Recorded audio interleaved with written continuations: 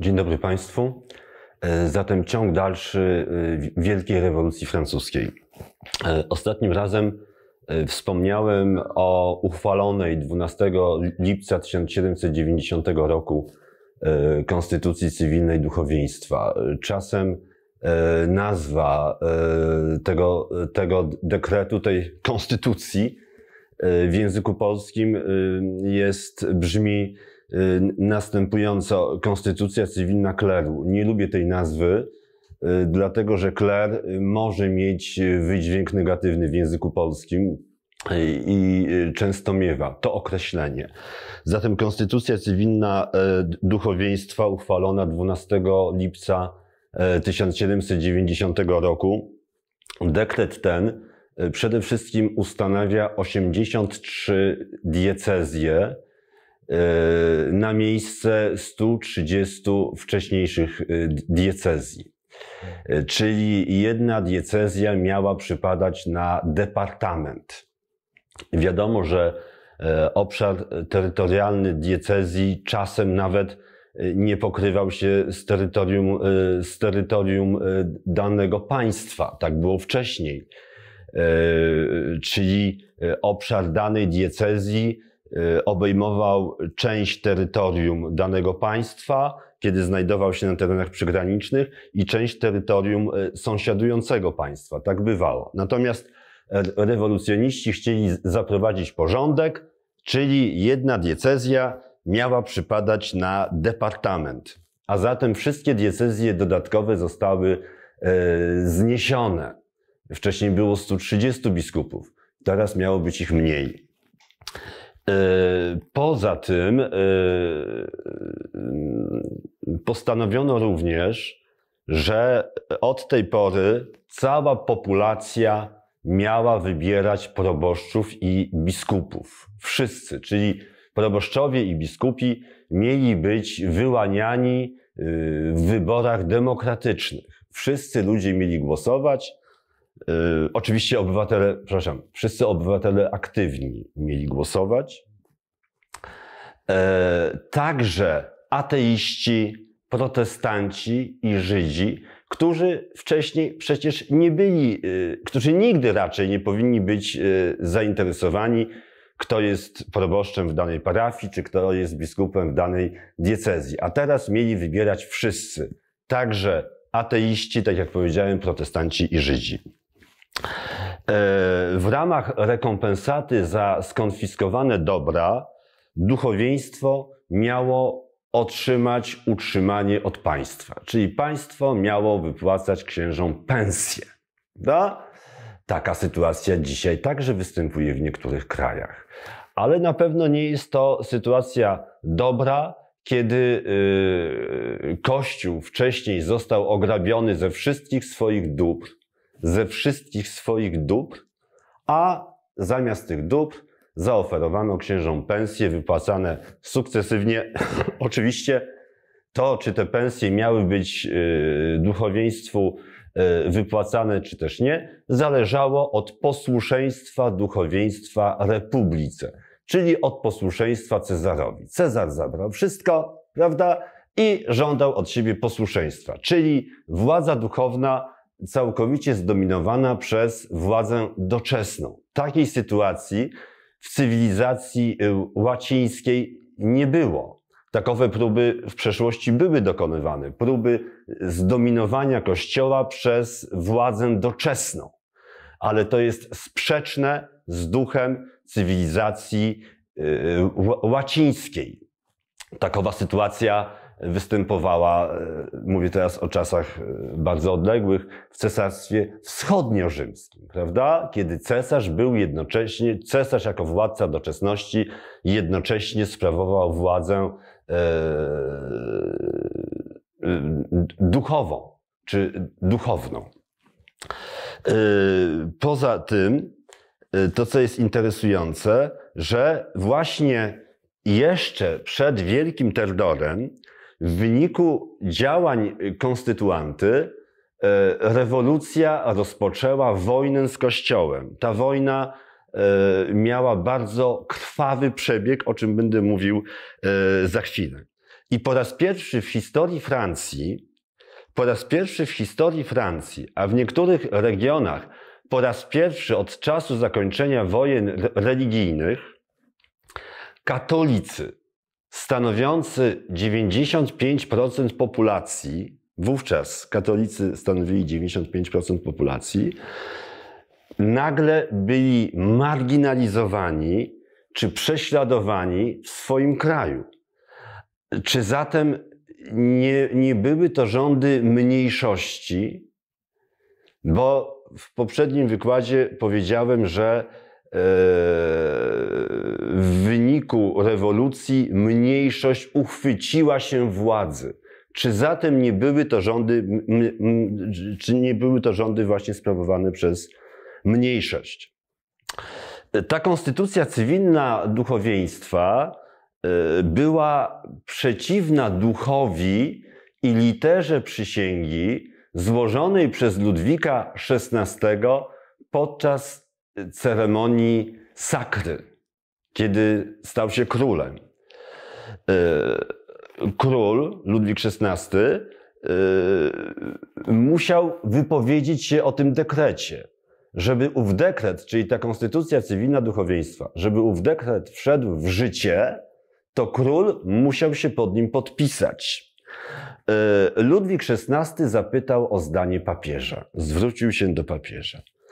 Ale odpowiedź z Rzymu nie nadchodziła. Trudno powiedzieć, dlaczego nie nadchodziła odpowiedź z Rzymu. No wiadomo, że wtedy przepływ informacji nie był tak szybki jak dzisiaj. Dzisiaj by wysłał maila albo nie coś innego na przykład. Prawda? Żeby przyspieszyć y, sprawę. Tak czy owak, y, przez długi czas odpowiedź nie nadchodziła. I 24 sierpnia 1790 roku z bólem serca Ludwik XVI podpisał się pod tym dekretem i tym samym go ogłosił. Da? E, być może jakieś siły działały wówczas w państwie kościelnym, e, siły jakieś. Da?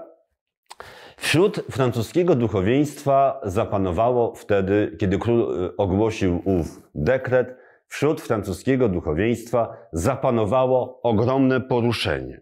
Liczne były protesty biskupów i, i, i innych kapłanów, prawda? Bardzo protestowali, zrobił się taki szum, zamęt i tak dalej. Wówczas konstytuanta e, postanowiła nauczyć ich wszystkich rozumu i 27 listopada 1790 roku zmusiła wszystkich francuskich duchownych pod groźbą odwołania spełnionego ministerium, zmusiła wszystkich duchownych do złożenia przysięgi na wierność konstytucji cywilnej. Na wierność konstytucji cywilnej. Był to kolejny dekret. I ponownie zgoda króla była wymagana ponownie Ludwik XVI musiał się pod tym podpisać. I znowu zapytał o zdanie papieża. I znowu odpowiedź nie przyszła. Być może w kościele działały jakieś siły, prawda, które sprawiły, że Pius VI, nie wiem, może o niczym nie wiedział, może o niczym się nie dowiedział, może dowiedział się, znaczy dowiedział się być może e, za późno i tak dalej.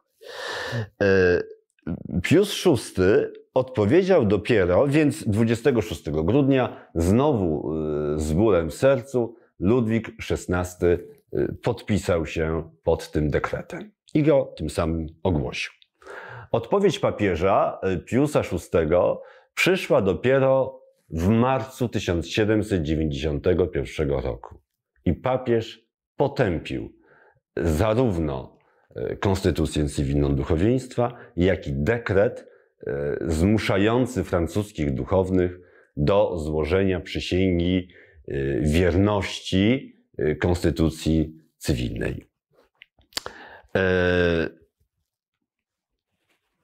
Na 130 biskupów ówczesnych jedynie czterech złożyło taką przysięgę.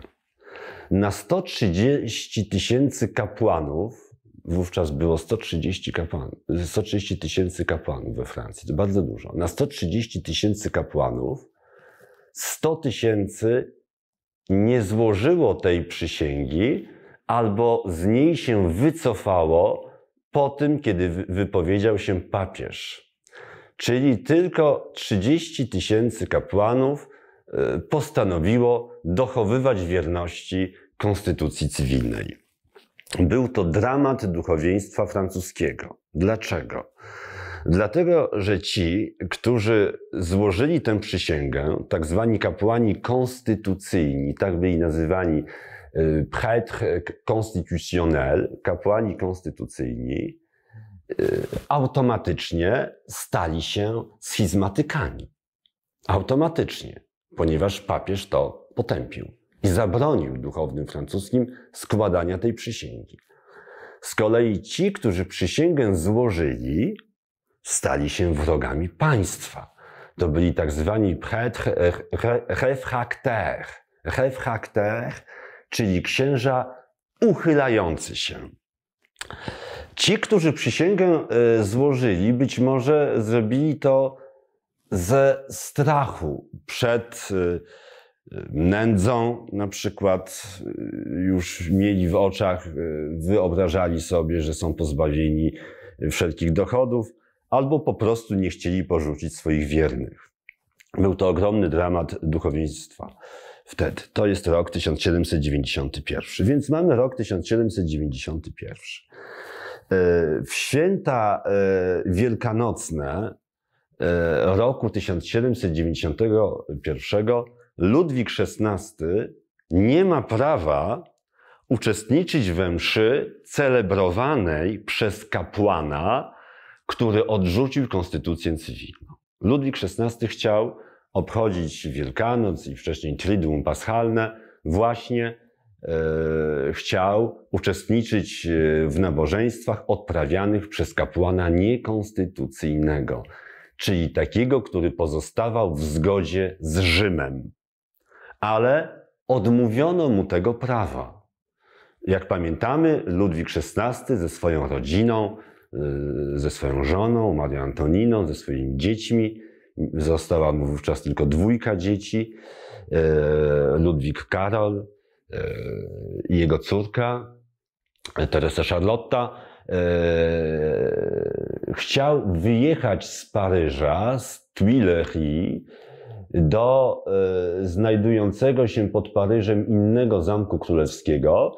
Chciał tam ze swoją rodziną wyjechać już nawet wsiedli do e, karocy. E, chciał tam pojechać, żeby właśnie tam obchodzić Wielkanoc. Tak jak powiadam, wsiedli już wszyscy do karocy. Wówczas oblegli ich ze wszystkich stron żołnierze z jego gwardii przybocznej, posypały się inwektywy i tak dalej, nie puścili go. W zgromadzeniu z kolei z miesiąca na miesiąc presja e, elementów radykalnych coraz bardziej wzrastała w tym czasie. E, w pałacu Tuileries atmosfera stawała się coraz bardziej groźna. Wtedy król e, zdecydował się na ucieczkę wraz ze swoją rodziną. E, to jest e, słynna ucieczka króla e, w czerwcu 1791 roku. Król z rodziną ucieka. Plan jest opracowany w tajemnicy. Chcą dołączyć do oddziałów markiza de Bouvier stacjonujących w Lotaryngii. W sumie ta ucieczka trwa kilka dni, już nie wiem, trzy czy cztery dni. Y, długa droga. Król wybrał najdłuższą drogę, ponieważ y, przemieszczając się w kierunku Lotaryngii, nie chciał opuścić terytorium y, swojego państwa, ponieważ zgromadzenie mu tego zabraniało, zabroniło. Król obawiał się, że jeżeli opuści terytorium Francji, to wówczas zostanie zdetronizowany. Został schwytany e, w nocy z 20 na 21 czerwca. Został schwytany w miejscowości Wachen. Rodzina królewska została tam rozpoznana. Oczywiście król nie uciekał z koroną na głowie, ani w płaszczu koronacyjnym podszytym gronostajem, prawda? Wszyscy się przebrali za zwykłych ludzi. E, mimo to w Wachen zostali zatrzymani e, w nocy w celu rutynowej kontroli, ale znalazł się tam przypadkiem człowiek, który wcześniej przez kilka lat pracował w Wersalu i widywał króla bardzo często. Tak więc pomimo e, tego faktu, że Ludwik XVI nie miał wtedy w Wachen w nocy z 20 na 21 czerwca, nie miał korony na głowie, ten człowiek go rozpoznał i powiedział do niego: Dobry wieczór, panie. Bonsoir, sire. Ta forma sire do dzisiaj w języku francuskim jest zarezerwowana dla książąt oraz królów. I no, wszyscy się zorientowali, że mają przed sobą króla. Eee, to dobry wieczór, panie zabrzmiało jak e, witaj rabbi w ogrodzie oliwnym. E, rodzina królewska jest aresztowana, e, pod eskortą wraca do Paryża. No, w, w takiej nieprzyjemnej atmosferze, ponieważ wzdłuż drogi zbierał się złowrogi tłum, który nie okazywał królowi szacunku. No i tak właśnie docierają do Paryża. 3 yy, września 1791 roku zostaje uchwalona konstytucja. Konstytuanta, prawda, która miała uchwalić konstytucję, uchwala ją 3 września 1791 roku.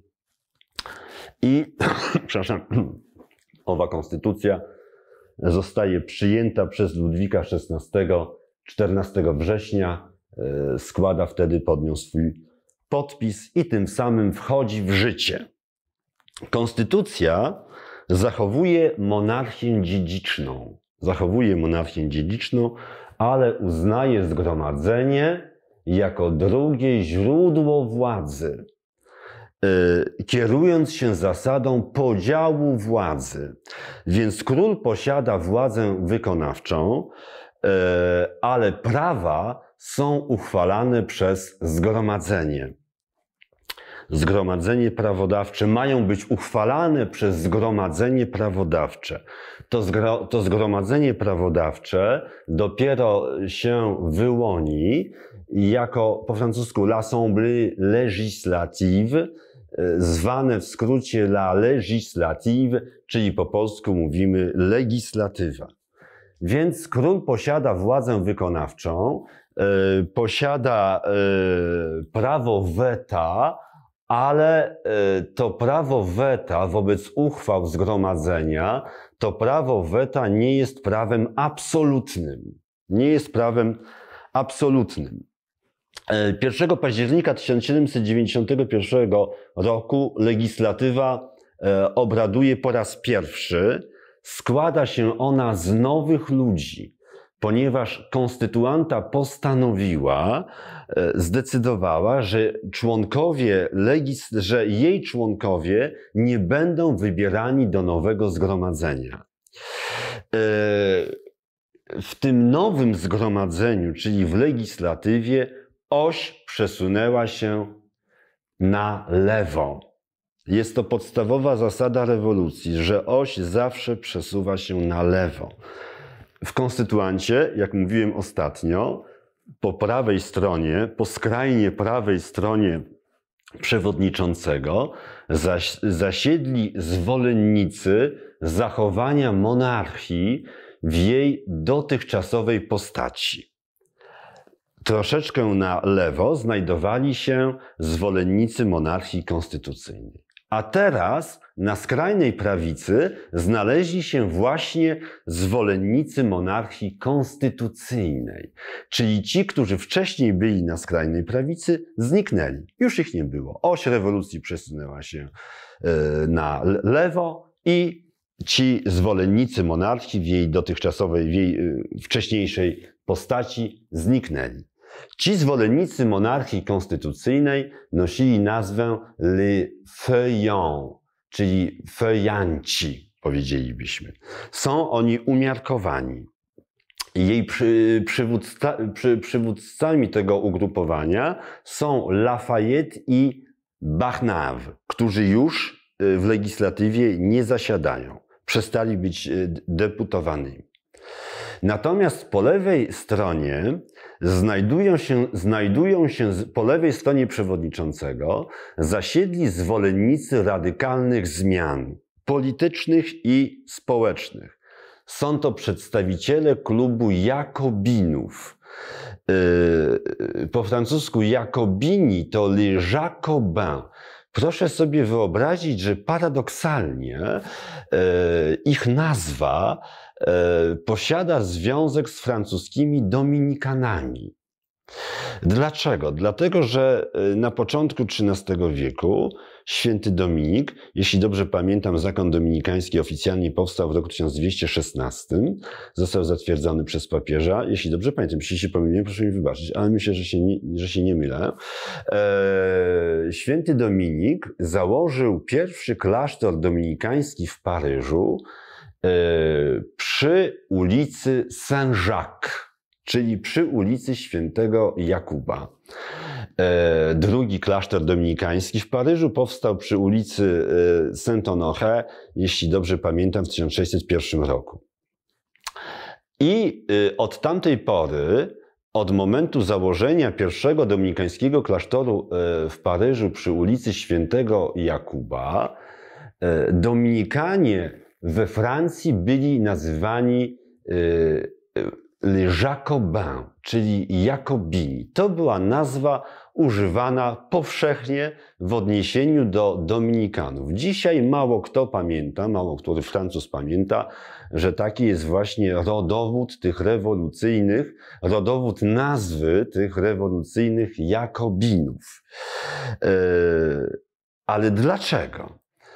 Otóż Wspomniany przed chwilą klasztor przy ulicy Saint-Honoré, założony w 1601 roku, posiadał bardzo bogatą bibliotekę, e, która z kolei posiadała piękną czytelnię z piękną galerią.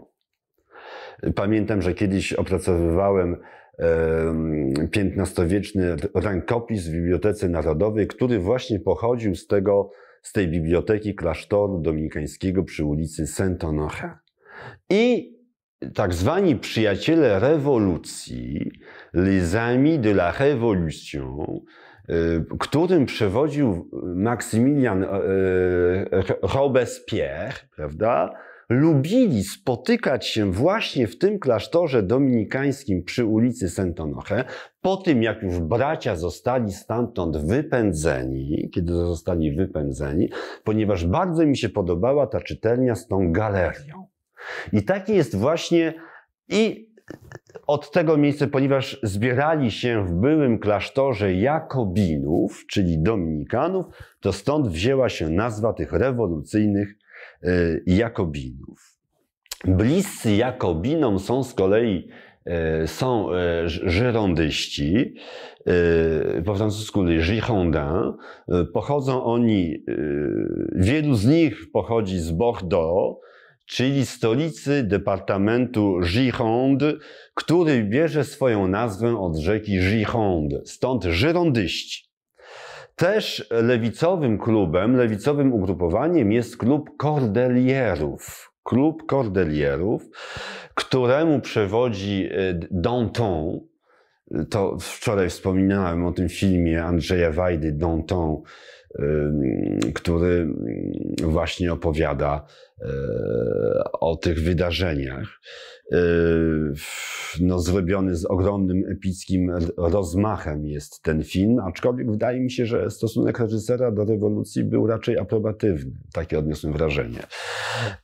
Klub Cordelierów, Le Cordelier, założony w 1790 roku, E, dlaczego kordelierzy? No ci z kolei wzięli swoją nazwę od francuskich franciszkanów, ponieważ e, jak wiadomo, e, elementem franciszkańskiego habitu jest sznur, są oni przepasani sznurem.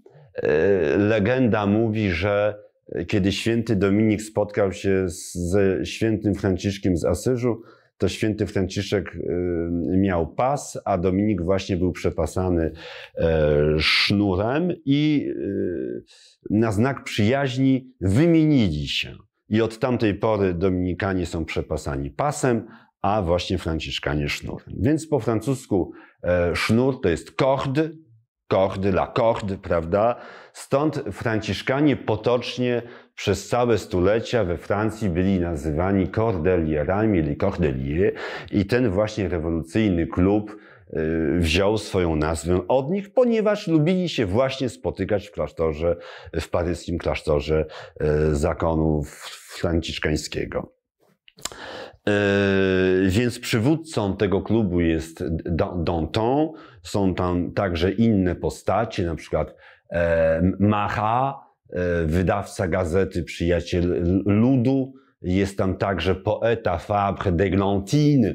Ten Fabre d'Eglantine, który będzie autorem nazw dni i miesięcy w nowym kalendarzu rewolucyjnym, o którym będę za chwilę e, mówił. E, wśród kordelierów spotkać można także Camila Desmoulins, E, też przedstawionego w filmie Andrzeja Wajdy, wspomnianym, e, tak, e, który właściwie ten Camille Desmoulins, Camille Desmoulins sympatyzował i z Jakobinami, i z Kordelierami. Dlaczego to mówię? Ponieważ Jakobini i Kordelierzy, choć wyznawali podobne idee, to jednak ze sobą, między sobą rywalizowali. Być może niczym się między sobą nie różnili, ale między sobą rywalizowali łyk kawy, jeśli Państwo pozwolą. Więc rywalizowali. A zatem tutaj trzeba powiedzieć taką rzecz, że walka stronnictw, ponieważ w zgromadzeniu ma miejsce walka stronnictw. Walka stronnictw staje się motorem rewolucji, siłą y, napędową y, rewolucji. Lewica chce zwyciężyć nad prawicą, prawda? E, ponieważ mechanizm rewolucyjny nigdy nie zawraca i najgwałtowniejsi zawsze wychodzą e, zwycięsko w czasie ogólnego zamieszania. No ale to mówiłem o prawicy i o lewicy, ale też był ktoś po środku. Też był ktoś po środku. Po środku było tak zwane le mache, czyli bagno. Nie wydaje mi się, żeby deputowani, którzy właśnie zasiedli po środku i którzy y, głosowali raz tak, a innym razem siak, prawda? Y, raz chcieli sprzyjać prawej stronie, a raz lewej stronie, ale ponieważ się bali, to zazwyczaj głosowali tak, jak głosowała lewica. Nie sądzę, żeby ci deputowani sami sobie e, wymyślili taką nazwę bagno, no bo to raczej nazwa pejoratywna. Oni tak zostali nazwani bagnem właśnie. Yy, więc to bagno zazwyczaj głosuje tak, jak, jak chce le, lewa strona, prawda? Tym samym w legislatywie dominują elementy y, całkowicie radykalne. Poza tym deputowani znajdują się pod ciągłą presją e, innego ugrupowania, e, składającego się, ale tego ugrupowania nie było w zgromadzeniu. Ono było na ulicy. To była ta trzecia władza, czyli ulica, czyli rozruchy. Eee, chodzi tutaj o rewolucjonistów twardych i czystej krwi, którzy wówczas się pojawili. Nazywali się oni sans culotte, culotte to były krótkie spodnie, nie nosili oni krótkich spodni, więc byli oni nazywani dosłownie bez krótkich spodni. Les sans culottes, po polsku mówimy e, sans culoci. Trudny wyraz do wy, wypowiedzenia, prawda? To właśnie oni, e, tak więc nie nosili krótkich e, spodni, nie nosili tych culot, za to nosili czerwone czapki frygijskie i nosili piki, którymi potrząsali i którymi straszyli, a czasem odcięte głowy na nich osadzali, prawda? To właśnie oni, ci sans-culoci, E, łatwiej wymówić ten wyraz po francusku niż po polsku, są culottes, to właśnie oni wprowadzili y, zwyczaj mówienia do siebie per ty, być może inspirując się językiem angielskim, y, zwyczaj mówienia do siebie per ty i zamienili monsieur, madame na citoyen, citoyenne, czyli proszę pan, już nie proszę pana, nie proszę pani, tylko zaczęli mówić do siebie obywatelu, obywatelko. To tak jak w czasach PRL-u na przykład milicja do nas mówiła obywatelu, prawda? Ale też mówiła obywatelko. Ci samkuloci są bardzo radykalni, wiedzą dobrze, że ówczesne wydarzenia to coś więcej niż tylko polityka chodzi, wiedzieli oni, że chodzi o przerwanie pewnej ciągłości w historii ludzkości. E, radykalność e, rewolucyjna wyraża się w postaci e, przy okazji dwóch praw uchwalonych przez zgromadzenie, które to prawa wprowadzają kategorię podejrzanych. Le suspect po francusku.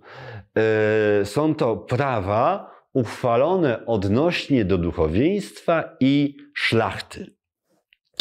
O co chodzi? Otóż w oczekiwaniu na lepsze dni wielu szlachetnie urodzonych postanowiło uciekać za granicę, ale nie tylko szlachetnie urodzonych. Uciekali także zwykli ludzie, którym nie podobały się przemiany, których wówczas y, dokonywano y, tam właśnie we Francji. Y, to byli tak zwani emigranci. Wśród nich był między innymi brat Ludwika XVI, hrabia Artois, który uciekł już 16 lipca 1789 roku ze swą rodziną. E, uciekł, ponieważ obawiano się, że znajduje się na czarnej liście. Był on zwolennikiem e, odcięcia kilku głów po to, żeby właśnie zdławić rewolucję w zarodku. Więc znajdował się na czarnej liście rewolucjonistów, o czym powiedzmy wywiad królewski się dowiedział E, wywiad e, w cudzysłowie e, się dowiedział i hrabia Artois uciekł za granicę. Hrabia Artois, czyli przyszły król Karol X. Uciekł także drugi brat Ludwika XVI, hrabia Prowansji, przyszły Ludwik XVIII król Francji. E, uciekał razem z Ludwikiem XVI i jego rodziną, z tym, że podróżowali osobno. On już się niczym nie przejmował, bardzo szybko e, przekroczył e, granicę i był bezpieczny. I on także był tym emigrantem. Emigranci, armia emigrantów w zasadzie, której przewodniczy, przewodzi hrabia Artois, emigranci skupiają się głównie w krajach, przynajmniej e, początkowo przewodzi, emigranci skupiają się głównie w krajach e, nadreńskich, wokół Koblencji, gdzie właśnie tworzą armię e, uciekinierów. I dekret legislatywy z 9 marca 1791 roku zmusza wszystkich emigrantów do powrotu przed upływem dwóch miesięcy. W przeciwnym razie e, zostaną oni uznani za przestępców, za kryminalistów, a ich dobra zostaną skonfiskowane. No nie wydaje mi się, żeby ktokolwiek chętnie wracał, nawet jeśli miał w perspektywie utratę e, swoich dóbr. Z kolei 29 listopada 1791 roku drugi dekret y, właśnie o podejrzanych, y, wydany przez y, legislatywę, uznaje za podejrzanego każdego księdza, który nie złożył przysięgi wierności konstytucji cywilnej duchowieństwa i na mocy tego dekretu wszyscy ci księża niekonstytucyjni są pozbawieni utrzymania państwa. W kolejnym roku, 27 y, maja 1792 roku, y, zostaje wydany inny dekret, y, który także jest wymierzony w księży, którzy odmówili złożenia tej przysięgi są niekonstytucyjni, są uchylający się, refrakter, prawda? I yy, ów dekret nakazuje ich deportację. Deportację. Ludwik XVI stawia weto tym niesprawiedliwym prawom. Używając swojego prawa konstytucyjnego, prawda, do postawienia weta. Ale tym samym on sam staje się podejrzany w oczach e, rewolucjonistów. 27 e, sierpnia 1791 roku w Pilnic w Saksonii cesarz Leopold II, następca Józefa II, swojego brata, i jednocześnie brat Marii Antoniny, e, zawiera z królem pruskim, Fryderykiem Wilhelmem II, ugodę, którą grożą konstytuancie, że zbrojnie uwolnią króla Francji. Ta deklaracja, prawdę powiedziawszy, została na nich wymuszona przez e, hrabiego Artua, który chciał dodać tym samym emigrantom otuchy. No, kiedy e, deputowani e, z, z, legislatywy dowiedzieli się o tych pogróżkach, o tej groźbie, no to proszę sobie wyobrazić, że w Paryżu y, z mównicy zgromadzenia, z trybuny zgromadzenia, mówcy obrzucają, zaczynają obrzucać zagranicznych monarchów przeróżnymi inwektywami. Oni nie przebierali w słowach. Da? Ich język był bardzo siarczysty. Yy, obrzucali ich przeróżnymi inwektywami, oskarżając ich o chęć zdławienia rewolucji, a najbardziej radykalni oskarżali wówczas nawet Ludwika XVI o spiskowanie z nimi. O spiskowanie z nimi. Ludwika XVI i Marię Antoninę, Austriaczkę, jak ją nazywano, l'Autrichienne. E, z kolei w grudniu 1791 roku e, na prośbę zgromadzenia król Ludwik XVI prosi elektora Trewiru o rozwiązanie armii emigrantów, która tworzy się w jego księstwie. E, w rzeczywistości, e, czyli król, wbrew powszechnie przyjętej opinii, nie był zwolennikiem wojny. Nie był zwolennikiem tej wojny, prawda? No bo przyjęło się, tak rzeczywiście było, że rewolucja w zasadzie rewolucja wypowiada wojnę Europie, czy Europa wypowiada wojnę rewolucji, prawda? Jeśli chodzi o monarchów europejskich, w rzeczywistości, nawet jeśli oni bali się zarazy rewolucyjnej u siebie, to jednak uzależniali swoją politykę od swoich interesów narodowych.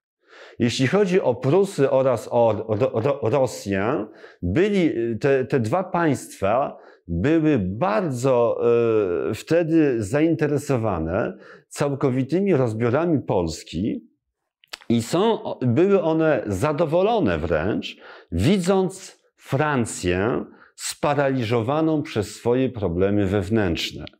Jeśli chodzi z kolei o Anglię na przykład, e, upajała się ona wtedy e, taką satysfakcją, że związaną z tym, że król francuski, prawda, teraz cierpi, a jeszcze nie tak dawno Paryż niósł pomoc zbuntowanym kolonistom amerykańskim.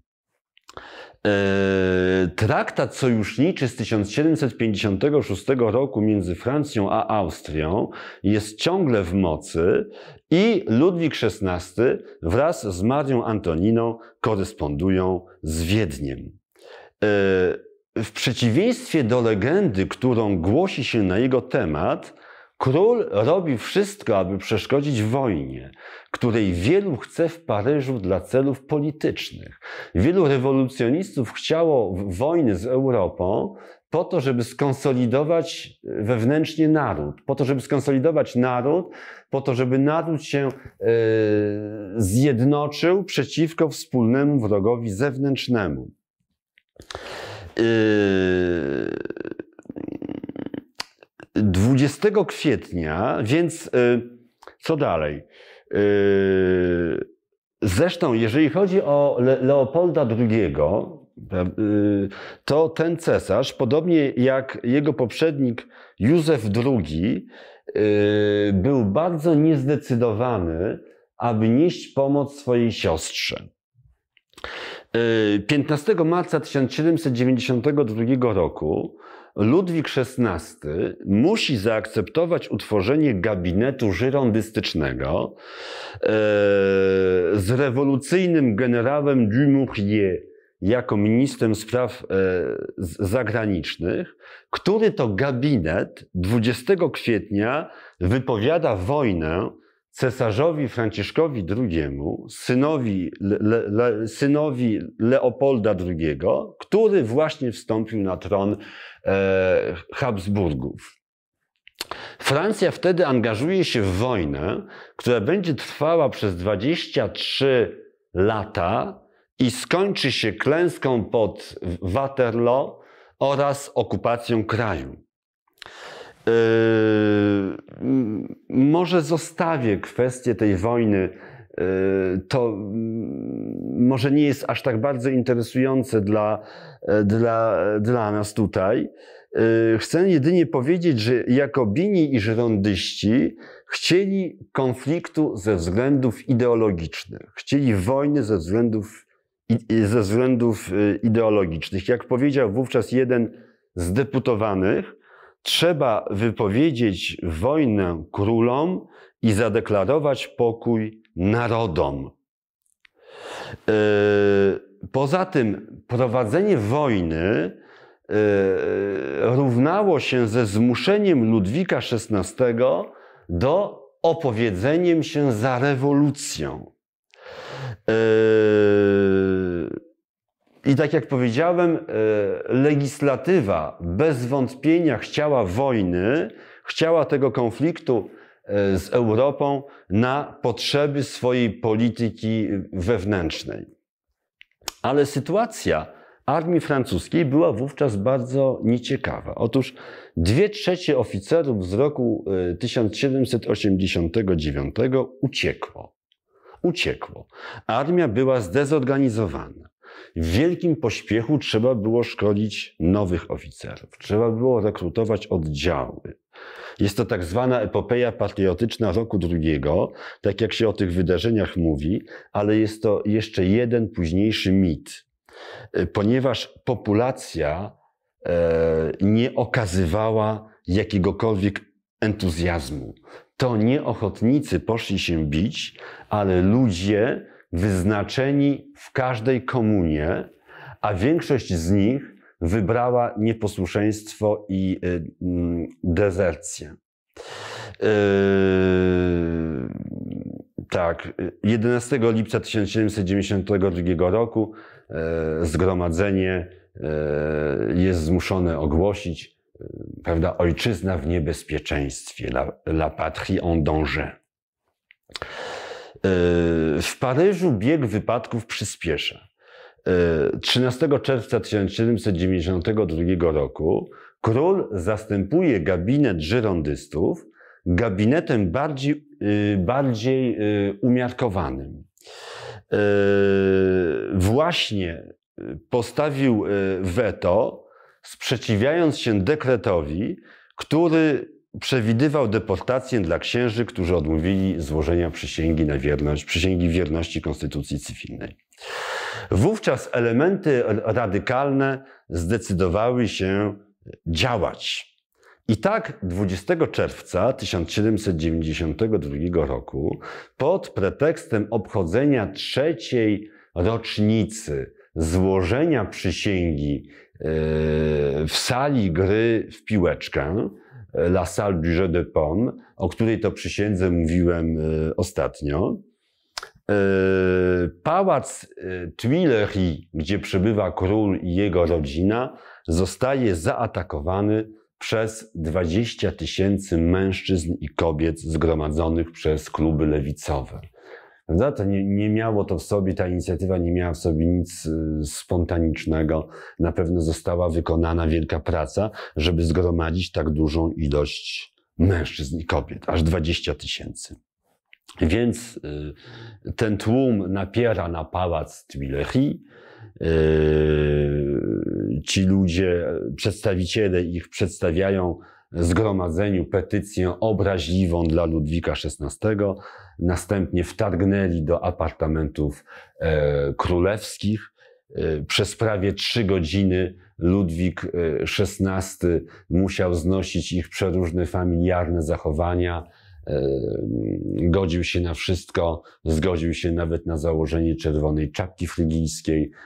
Podobną czapkę założyli jego żonie, jego synowi. Madame Elżbiecie tego nie zaproponowano, jednak cieszyła się ona wielkim szacunkiem. Jeszcze e, jedynie zmuszono ją, zmuszono ją do przypięcia sobie trójkolorowej e, kokardy. Więc król założył czerwoną czapkę frygijską. Przez trzy godziny, tak jak powiadam, znosił ich przeróżne familiarne zachowania, stukał się z nimi kieliszkami itd itp. 1 sierpnia z kolei 1792 roku książę Brunszwiku, dowódca armii austriacko-pruskiej, e, postawił Paryżowi ultimatum. Mieszkańców spotkają najstroższe kary, jeśli się nie podporządkują i jeśli rodzina królewska nadal będzie niepokojona, to był wynik tych wydarzeń, o których przed chwilą mówiłem, z 20 czerwca. Prawdę powiedziawszy, ten tekst, tekst tego ultimatum, został zredagowany przez grupę emigrantów, która chciała, e, zredagowany przez grupę e, emigrantów, a oczywiście e, ów tekst został oficjalnie ogłoszony przez księcia Brunszwiku. Owa grupa emigrantów Chciała tym samym dodać królowi otuchy, ale zamiast dodać y, mu y, otuchy, y, przyspieszyli jedynie jego zgubę. Dlaczego? Otóż ta wspomniana deklaracja księcia Brunszwiku w środowisku radykalnych, rewolucyjnych ugrupowań wywołała wielką wściekłość. Doprowadziła ona do tego, że 10 sierpnia 1792 roku pałac Tuileries został wzięty siłą, a rewolucjoniści zmusili Ludwika XVI i jego rodzinę do schronienia się w zgromadzeniu. Oni się tam schronili tylko na krótki, na krótki czas, prawda? E, na krótki czas. W sumie spędzili tam chyba dwa dni e, w strasznych warunkach, praktycznie bez dostępu do wody i jedzenia nawet, takich traktowano.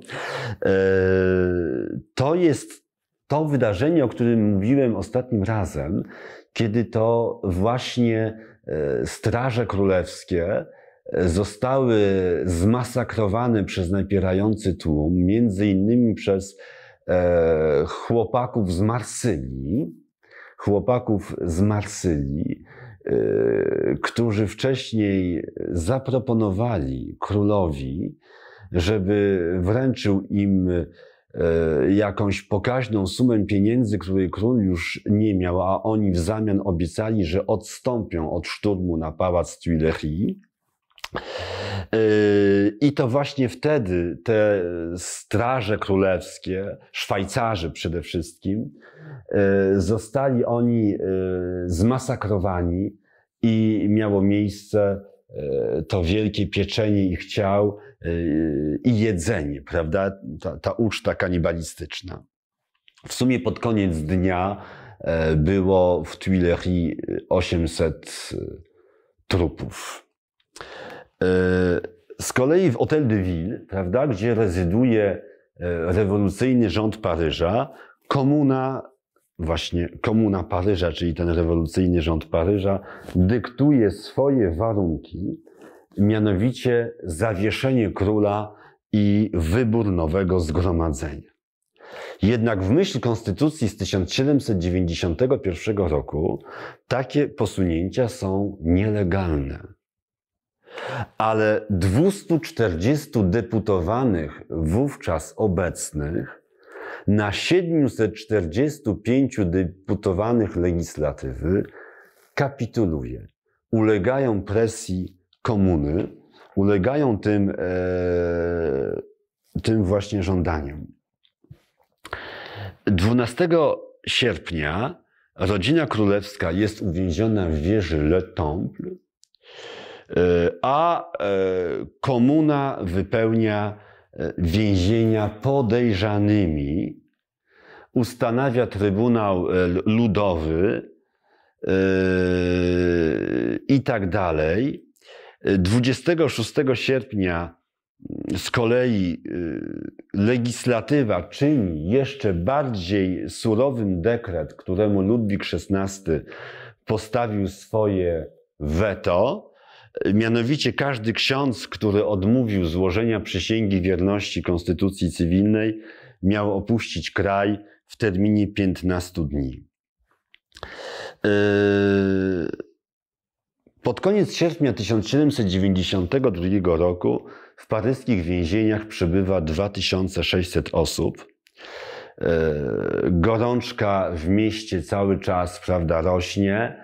E, sytuacja e, armii francuskiej walczącej z obcymi mocarstwami jest nieciekawa. 2 września ma miejsce porażka na przykład oddziałów francuskich pod Verdun, e, gdzie Francuzi poddali się oddziałom austriacko-pruskim i Paryżanie zostali wezwani do, do zaciągnięcia się do armii.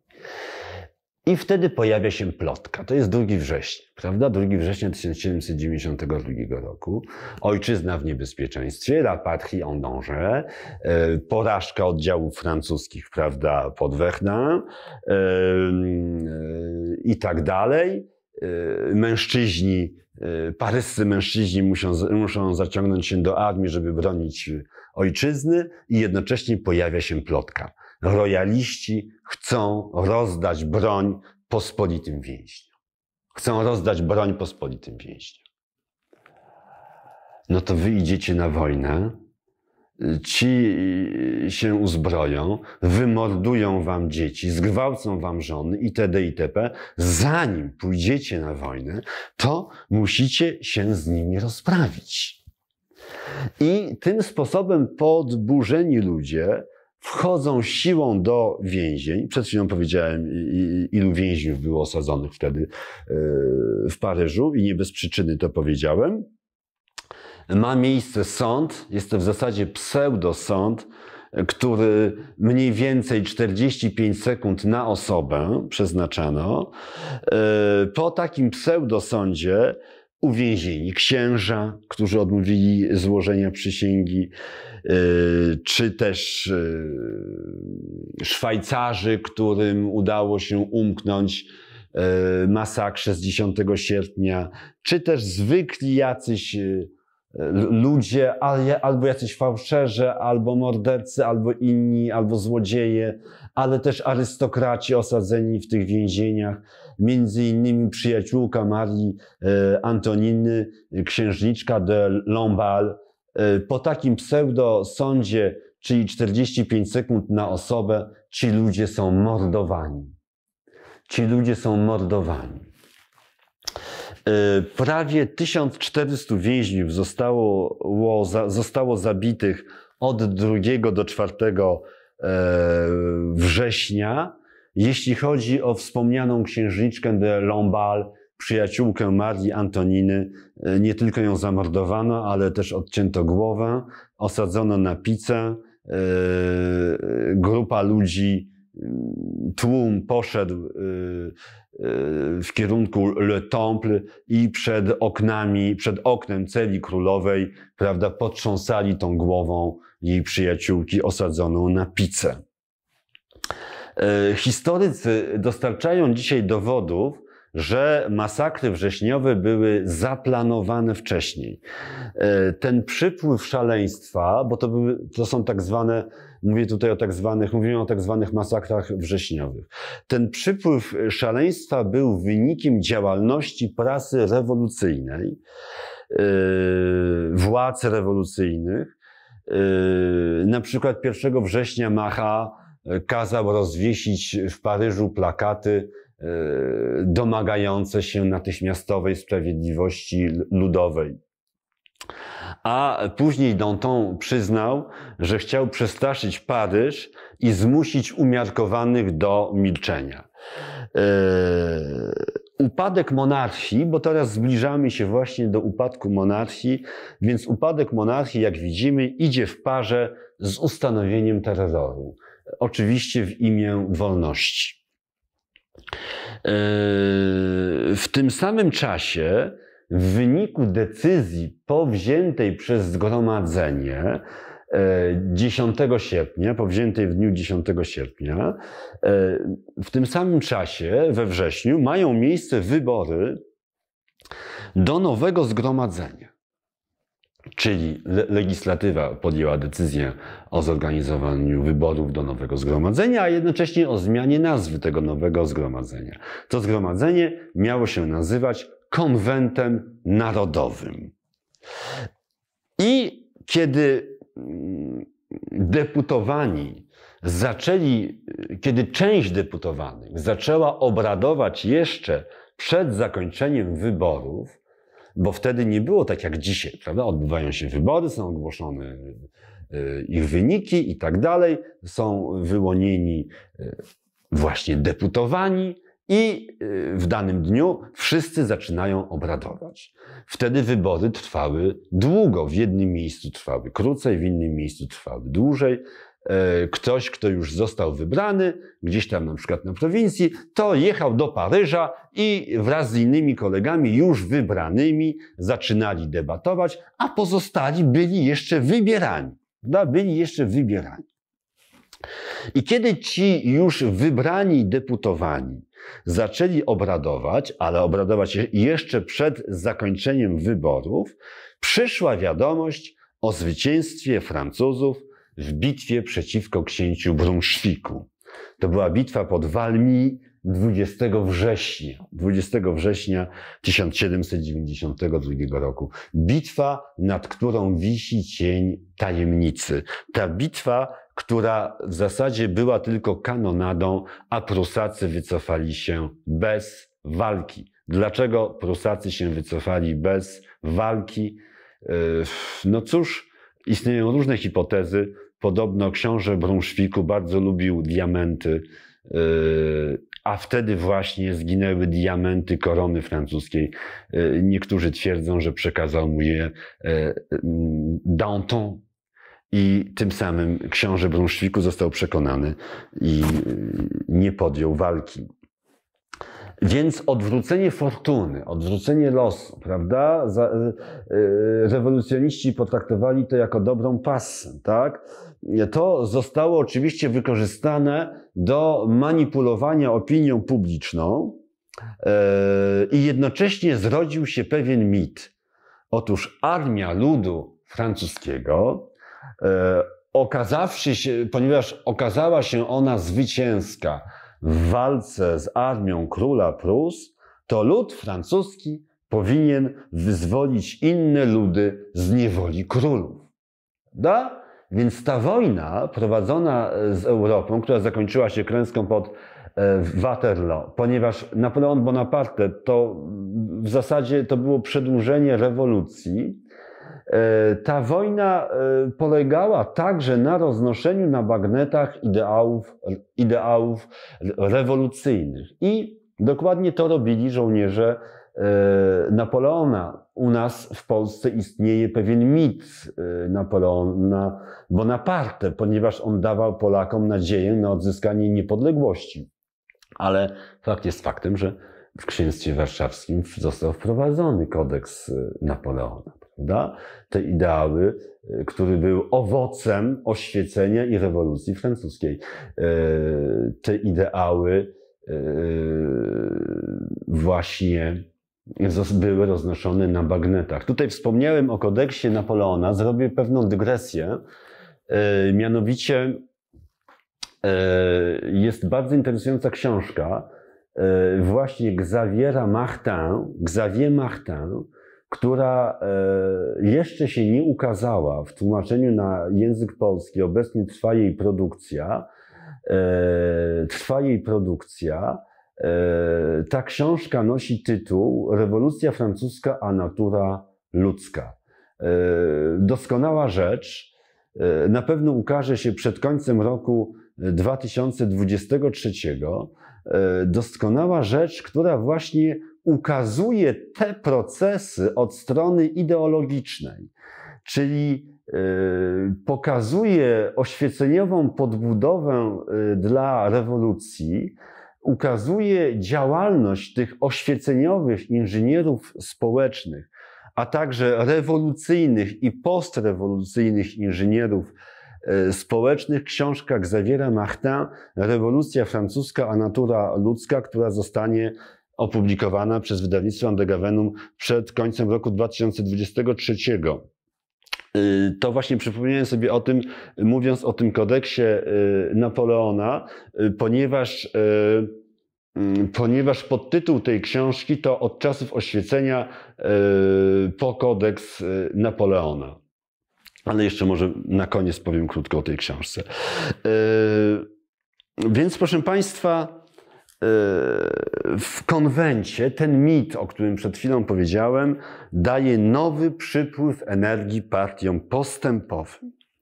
I tak 21 września 1792 roku w wyniku inicjatywy księdza Grégoire Grégoire, ksiądz Grzegorz, ale to było jego nazwisko, księdza Grégoire, który był bardzo postępowym rewolucjonistą, osobowość sprzeczna. Podobno e, zagorzały rewolucjonista, znaczy nie podobno, na pewno zagorzały rewolucjonista i podobno szczerze wierzący chrześcijanin. Trochę mi się w to wierzyć nie chce, ale może rzeczywiście tak było. E, może to był człowiek pełen e, sprzeczności. Więc w wyniku mm, interwencji księdza Grégoire 300 deputowanych y, obecnych już w konwencie, już wybranych, to było 21 września 1792 roku, już wybranych i obecnych, ogłasza dekret o zniesieniu monarchii i ustanowieniu republiki. Ale, ale, jednocześnie konstytucja z roku 1791 nie była zniesiona. Zatem był to akt mm, bezprawny i był to akt siłowy. Akt siłowy, w dodatku dokonany przez mniejszość, ponieważ tego aktu dokonało 300 obecnych, już wybranych deputowanych na 700, przepraszam, na 749 deputowanych, których miał liczyć konwent narodowy. Yy, więc po pierwsze, akt siłowy, akt bezprawny, zniesienie, e, zniesienie monarchii i ustanowienie republiki, tej pierwszej republiki. Akt siłowy, akt bezprawny, e, w dodatku akt dokonany przez mniejszość. A nawet gdyby wszyscy deputowani byli wówczas obecni, tych 749 deputowanych, to i tak nie byliby oni w żadnym razie reprezentatywni dla narodu francuskiego. Dlaczego? Ponieważ frekwencja wyborcza w tamtych wyborach wynosiła zaledwie 10%. 10%. Więc yy, bardzo dyskusyjne jest to zniesienie monarchii przez konwent narodowy i ustanowienie republiki, tej pierwszej republiki. Natomiast dzień po, dzień później, yy, czyli 22 września, konwent postanawia, że od tego dnia wszystkie dokumenty będą datowane od pierwszego roku Republiki. Czyli co to oznacza?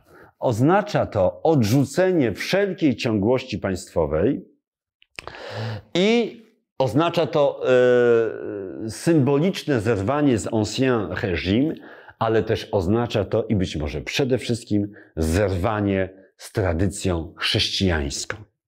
Czyli postanowili, że wprowadzą nowy kalendarz kiedy lata będą liczone od pierwszego roku Republiki. Ale kalendarz nie był gotowy. Zlecono jego przygotowanie. Kalendarz ten, tak zwany kalendarz republikański albo kalendarz rewolucyjny, e, został wprowadzony dopiero rok później. Ale lata liczono od momentu ustanowienia republiki, czyli został wprowadzony rok później, czyli już w drugim roku republiki został wprowadzony tenże właśnie kalendarz. Kalendarz, który zastępował erę chrześcijańską erą republikańską. Prawda? Eee, nie, nie zamierzam jakoś długo mówić o tym kalendarzu, chciałbym jedynie o nim tylko trochę wspomnieć. Więc e, to, o czym już mówiłem, e, prawda, e, nazwy dni, nazwy dni i nazwy miesięcy wymyślił poeta Fabre d'Eglantine. Każdy, tak w ogóle rok był podzielony na 12 równych miesięcy, prawda? Plus 5 dodatkowych, czyli 12 razy 30, prawda? E, co daje 360, plus 5 dodatkowych dni, które były dniami świątecznymi. E, nie było podziału na tygodnie takiego jak wcześniej, ponieważ każdy miesiąc liczący, który y, liczył 30 dni, został podzielony na 3 tygodnie, a każdy tydzień liczył 10 dni, czyli proszę sobie wyobrazić, te poszczególne dni tygodnia nosiły nazwy wywodzące się od liczebników porządkowych, dzień pierwszy, dzień drugi, dzień trzeci i tak dalej. E, proszę sobie wyobrazić taki tydzień pracy, ponieważ taki był właśnie tydzień pracy. Dzisiaj mamy, y, mamy pięciodniowy tydzień pracy, prawda? Dwa dni odpoczynku. A wtedy był dziewięciodniowy tydzień pracy, i jeden dzień odpoczynku. Ale dzięki wprowadzeniu tego podziału na e, podziału każdego miesiąca na trzy tygodnie po 10 dni każdy, tym samym została zlikwidowana niedziela. została zlikwidowana niedziela. E, bardzo uciążliwa sprawa.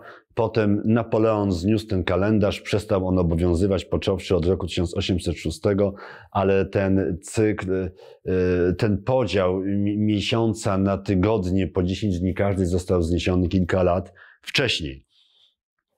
E, tak jak powiedziałem, każdy, dodatkowo każdy dzień miesiąca miał swoją nazwę. Te nazwy zostały wymyślone przez tego poetę Fabre d'Eglantine na cześć e, narzędzi, zwierząt, e, roślin, e, minerałów, zjawisk przeróżnych i tak dalej. Zacytuję, to, w zasadzie to chyba nie trzeba było mieć wielkiego natchnienia, żeby wymyślać te nazwy poszczególnych dni, prawda, y, w, w roku. Na przykład 26 września, to tak zacytuję tak, jako taką, taki przerywnik. 26 września nosił nazwę cheval czyli koń. To nie trzeba było mieć wielkiego natchnienia, żeby taką nazwę, prawda, wypracować. 28 września to była kachot, marchewka. 2 października pomme de terre, ziemniak, albo kartofel, jeśli ktoś woli. 6 października an, osioł. 19 października tomat, pomidor. Prawda? O, proszę zobaczyć. 25 listopada nazywał się koszą świnia. 28 grudnia fumier, dosłownie gnój. To nie trzeba było mieć wielkiego natchnienia. 14 stycznia sza, kot, 3 lutego wasz, krowa, 25 marca pól, kura. No, zabawne sytuacje można, o, na przykład albo 4 lipca taba, yy, czyli tytoń, prawda?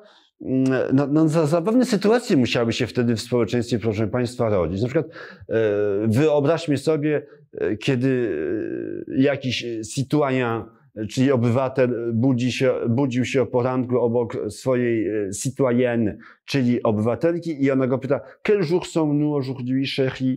E, jaki mamy dzisiaj dzień, e, kochany? A on na przykład jej mówi, aujourd'hui nous sommes le tabac. Prawda? Dzisiaj mamy tytoń. A ona mówi, t'as arrêté de fumer, a ty przestałeś palić. Różne zabawne sytuacje, prawda, mogły wtedy występować. Ale nie wszystkie nazwy tych dni były przypadkowe, ponieważ proszę sobie wyobrazić, że 24 grudnia, czyli Wigilia, jak wiadomo, Bożego Narodzenia, ten dzień nosił nazwę Sufr, czyli siarka. A z kolei 25 grudnia, czyli dzień e, Bożego Narodzenia, nosił nazwę Chien, czyli pies. E, to miał rzeczywiście e, natchnienie. Natomiast, e, o, to jest ciekawe, że planowali także, nie tylko zmieniono podział poszczególnych miesięcy, ale także planowano zmianę podziału doby na 10 godzin. Każda godzina miała liczyć po 100 minut a każda minuta miała liczyć po 100 sekund. To byłby dopiero biznes dla producentów zegarków i zegarów, prawda? Nie doszło do tego. Natomiast trzeba powiedzieć, że udały mu się nazwy miesięcy, prawda? Nazwy miesięcy rzeczywiście były piękne, nazwy miesięcy jesiennych kończące się na R, na przykład Vendemiaire, prawda? Od y, Windemia, winobranie, czyli miesiąc winobrania, prawda? Miesiące zimowe, które kończyły się na oz, na przykład niwoz, y, od niwozus, śnieżny, prawda? Miesiące wiosenne, które kończyły się na al, na przykład żechminal, E, od germen, kiełek, czyli dosłownie miesiąc nazywający się kiełkujący, miesiące letnie kończące się na or. Ta końcówka or w języku francuskim to ma w sobie taki ciężar upału, bym powiedział. No, na przykład thermidor, prawda? Od greckiego termos, gorący, czyli ten miesiąc gorący i tak dalej. To przyznaję, że nazwy, nazwy miesięcy rzeczywiście e, udały się e, Fabrowi d'Eglantine. No i oczywiście było tych y, y, pięć dodatkowych dni y, świątecznych następujących po sobie. Zacytuję, jakie święta wtedy obchodzono, no bo oczywiście święta kościelne znikają z tego kalendarza. No to przecież siłą rzeczy muszą one zniknąć z tego kalendarza, święta kościelne. Yy, I pojawiają się nowe święta, tylko że one się pojawiają jedno po drugim, prawda? Jedno po drugim. To było tych pięć dodatkowych dni, a sześć dodatkowych dni w roku przestępnym. To były te świąteczne. Czyli na przykład la fête, nie na przykład, zacytuję je, la fête de la vertu, święto cnoty, oczywiście rewolucyjnej cnoty. Nie, te, nie chodziło o te cnoty, o których pisał na przykład święty Tomasz Zakwinu. La fête du génie, święto talentu. Yy, następne było święto pracy, święto opinii, zapewne jedynej słusznej opinii, święto nagród i święto rewolucji. Yy, więc co się dalej dzieje? No, yy, Więc jest ustanowiona republika, potem wprowadzony kalendarz. Ale co się wydarzyło, zanim został wprowadzony kalendarz? Tak w ogóle jest to okres, kiedy, prawda, ta, yy, kiedy rewolucja się bardzo radykalizuje. Pojawia się wówczas hasło, które wtedy było bardzo znane. Liberté, égalité, fraternité ou la mort to hasło liberty, egality, fraternity, to wszyscy, wszyscy wiedzą, no bo we wszystkich podręcznikach na różnych poziomach, podręcznikach do historii to się pojawia, czyli wolność, równość i braterstwo. A wtedy jeszcze dodano, dodawano jeden element do tego liberty, egality, fraternity. Dodawano ula mort, czyli wolność, równość, braterstwo albo śmierć. Tak to wyglądało. Więc proszę Państwa, Król z rodziną są osadzeni w wieży Le Temple, przekształconej w więzienie. Ona dzisiaj nie istnieje, została zburzona w międzyczasie. E, są więźniami. A 20 listopada 1792 roku w pałacu Tuileries e, w ścianie zostaje odkryta żelazna szafa, podobno żelazna szafa, i podobno w ścianie i podobno była w niej korespondencja króla z monarchami zagranicznymi. To Przypuszczam, że to było trochę wyssane z palca, bo 10 sierpnia, kiedy szykował, 1792 roku, kiedy szykował się szturm na pałac Tuileries, Ludwik XVI kazał spalić swoją korespondencję, kazał ją zniszczyć. Jeżeli coś zostało, to może jakieś drugorzędne listy, może jakieś życzenia bożonarodzeniowe, czy inne kartki świąteczne, prawda? Ale oczywiście rewolucjoniści twierdzili, że odkryli korespondencję króla i odkrycie tej korespondencji e, staje się podstawą do wszczęcia procesu przeciwko Ludwikowi XVI, e, rozpoczętego, procesu rozpoczętego przed konwentem narodowym 11 grudnia 1792 roku. Ludwik XVI wtedy jest nazywany Ludwikiem Capet, Louis Capet, zwracano się do niego per citoyen P, czyli obywatelu Capet. Skąd Capet? Wiadomo, prawda? Hugo Capet. Capet był przydomkiem Hugona, założyciela dynastii Kapetyngów, pierwszego króla z dynastii Kapetyngów. A Bourbonowie, Ludwik XVI był Bourbonem, a Bourbonowie to była jedna z gałęzi właśnie Kapetyngów, więc jego przodkiem był Hugo Capet i takiemu nazwisko zrobili, prawda? Hugo Capet. E, e, był broniony przez dwóch adwokatów. Jeden z nich nazywał się Malzerbe, mal, males herbes. Mal y, to w starofrancuskim był to przymiotnik, czyli dosłownie, y, bo dzisiaj le mal y, zło, prawda, rzeczownik. Czyli dosłownie złe trawy, złe zioła. Taką, takie miał on nazwisko. Kiedyś przyjaciel filozofów był dyrektorem cenzury czyli królewskiej instytucji, która miała cenzurować między innymi te dziełka filozofów, a on się z nimi bardzo przyjaźnił. Potem y, zmienił front, kiedy zobaczył, do czego doprowadziła oświeceniowa filozofia, nawrócił się. Więc jednym z jego adwokatów był Malzerbe, a drugim Romain de. Dużo ryzykowali. Dużo ryzykowali ci dwaj adwokaci. Tym, przepraszam, tym bardziej, że bronili oni króla z odwagą. Bronili króla z odwagą. E, ale nie, nie udało im się przekonać sędziów. E, król e, systematycznie zaprzeczał oskarżeniom, w ogóle przez cały czas procesu był odizolowany od swojej rodziny, czyli od 11 grudnia nie, nie widywał się ani z Marią Antoniną, ani z dziećmi, ani z Madame Elżbietą. Zobaczył się z nimi dopiero y, tuż przed egzekucją. Y, wieczorem w dniu przed egzekucją. Y, Ludwik XVI zaprzeczał tym wszystkim absurdalnym oskarżeniom pod jego adresem i robił na nich wrażenie, kiedy się modlił po cichu podczas debat. Rozwścieczał ich tym samym.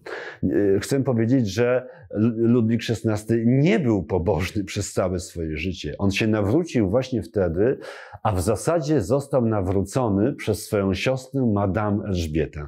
O niej powiem na koniec. Yy, więc robił autentycznie na nich wrażenie, kiedy, kiedy modlił się podczas tych debat. Żyrondyści chcieli uratować króla, yy, żądali oni, aby wyrok był ratyfikowany przez naród. Gdyby do tego doszło, nie sądzę, żeby naród ratyfikował wyrok skazujący Ludwika XVI na karę główną, prawda? Jeżeli w ogóle można mówić tutaj o karze. Ale ta propozycja została odrzucona przez konwent. E, głosowanie dodatkowo w konwencie nie było tajne, było to głosowanie nominalne, czyli każdy z deputowanych musiał wyjść na mównicę i się wypowiedzieć. Prawda? E, każdy. I to głosowanie trwało w sumie 24 godziny. Wyrok skazujący Ludwika XVI, obywatela kapet, jak mówili, na śmierć, został ogłoszony 387 głosami. Proszę zobaczyć, 380 głosów było za wyrokiem śmierci, 334 deputowanych z kolei głosowało za więzieniem albo śmiercią warunkową, a 28 wstrzymało się lub było nieobecnych. Proszę zobaczyć, niewiele brakowało, a nie skazano by go na śmierć. Yy, więc półtora roku później miał miejsce przewrót termidoriański. Gdyby dożył przewrotu termidoriańskiego, to umarłby być może śmiercią naturalną w swoim łóżku. E, proszę zobaczyć jednak, jaka była odwaga tych 334, którzy, którzy głosowali za więzieniem i tych 28, którzy się wstrzymali. No nie, niektórzy byli nieobecni. Ogromna odwaga. E, ciekawostką jest fakt, że za wyrokiem skazującym Ludwika na karę śmierci e, głosował jego kuzyn, który mógł być nawet, który potencjalnie był nawet następcą tronu. Należał do rodziny panującej, był tak zwanym księciem krwi. E, Filip, książę orleański, kuzyn króla, który przydgnął do lewicowej frakcji, został wybrany do zgromadzenia, zasiadał po lewej stronie przewodniczącego, e, zmienił sobie w ogóle swoje e, nazwisko, nie był to Philippe d'Orléans, ale Philippe Égalité, czyli Filip Równość i twierdził nawet, że jego matka nie poczęła go z jego ojcem, znaczy z tym oficjalnym ojcem księciem orlańskim, pomimo że e, fizycznie był bardzo e, do ojca, księcia ojca podobny, tylko że poczęła go z koniuszym. Tak już chciał się po prostu jakoś wtopić w, ten, w tą rewolucyjną masę. E, Ludwik XVI po bolesnym pożegnaniu ze swoją rodziną wchodzi na szafot 21 stycznia 1793 roku o 10.30 na Placu Zgody. E, dzisiaj La Place de la Concorde, dzisiaj Plac Zgody, wtedy to był La Place de la Révolution, czyli plac rewolucji, a jeszcze wcześniej, jeśli się nie mylę, to był La Place de Louis XV, czyli plac Ludwika XV. Wtedy plac rewolucji, yy, później plac zgody. Uwaga, jeśli we Francji w jakimś mieście spotkają się Państwo z nazwą jakiegoś placu, właśnie w rodzaju plac zgody, albo tak jak w Angers la place de ralliement, czy du ralliement, czyli plac zjednoczenia się, yy, z nazwą jakiegoś placu, gdzie jest właśnie taka idea jednoczenia się narodu, wszyscy jesteśmy braćmi, prawda, i tak dalej, to można być na 100% pewnym, że tam stała gilotyna. W czasach rewolucji. E, zanim Ludwik e, umarł, powiedział z godnością, to przetłumaczę na język polski, umieram niewinny, e, przebaczam moim wrogom, aby moja krew, oby moja krew okazała się pożyteczna dla, użyteczna dla Francuzów, oby uśmierzyła gniew Boga. To było ostatnie zdanie, które wypowiedział, więc umarł z godnością i jak święty. Bo powiedział, przebaczam moim wrogom. To Madame Elżbieta doprowadziła go do takiego stanu ducha, nie kto inny. A co się stało z jego adwokatami? Prawda? Tyle, to znowu zrobię wycieczkę do ciemnego średniowiecza, tyle psów się wiesza na tym ciemnym średniowieczu, e, na tej inkwizycji, prawda? Mówi się, że jeżeli e, adwokat broniący heretyka przegrał sprawę, to sam był podejrzany o herezję i tak dalej. A jak postępowali Y, postępowały dzieci oświecenia z adwokatami, którzy bronili ich wrogów. Jak oni postępowali? No więc, jeżeli chodzi o Malzerba, początkowo nic mu nie robiono, zostawiono go w spokoju, wrócił na prowincję, żył, żył sobie spokojnie, jednak w grudniu 1793 roku został aresztowany ale nie został aresztowany sam, prawda? W średniowieczu, jeżeli adwokat broniący, y, broniący heretyka przegrał sprawę, to został y, podejrzany o herezję, ale jego żona nie, jego dzieci nie, jego wnuki nie, prawda? A ci chcieli się mścić do któregoś tam istniejącego już pokolenia. Bo jednocześnie została aresztowana jego córka z mężem i jego wnuczka z mężem. E, został Malzech jako adwokat E, został zgilotynowany 23 kwietnia 1794 roku, ale wcześniej została, wcześniej, czyli 20 kwietnia, została zgilotynowana jego córka i jej mąż, a 22 kwietnia została zgilotynowana jego wnuczka i jej mąż, a Malzerbe był zmuszony do oglądania tych egzekucji. To wydaje się nam, to nie wiem, no pomyślmy sobie, jak my byśmy się czuli na miejscu takiego ojca i dziadka? On musiał patrzeć na egzekucję swojej córki, może już zostawmy tego zięcia, nie wiem jaki miał do stosunek, prawda? Ale musiał patrzeć na egzekucję swojej córki i swojej wnuczki. Być może oczyma wyobraźni widział tę córkę czy tę wnuczkę, jak y, y, huśta się w ogrodzie, w sukience z, z, jakimiś falbankami huśta się w ogrodzie na huśtawce. Przypomniał to sobie i widział to oczyma wy, wy, wyobraźni, kiedy spadała jej głowa. Co on wtedy czuł, prawda? Więc e, potrafili oni znęcać się nad ludźmi potrafili znęcać się nad ludźmi. E, więc jest rok 1793, wracam jeszcze do roku, bo wyszedłem już do 1794 roku. Jest rok 1793. E, sytuacja e, w Paryżu i na prowincji staje się coraz bardziej radykalna, coraz bardziej napięta. Francja obcina głowę swojemu królowi. I właśnie wtedy, w roku 1793, w Wandei wybucha powstanie. I podczas następnego wykładu, który będzie e, krótszy od tego, e, powiem o powstaniu w Wandei. Powiem krótko. Tymczasem dziękuję Państwu i do widzenia.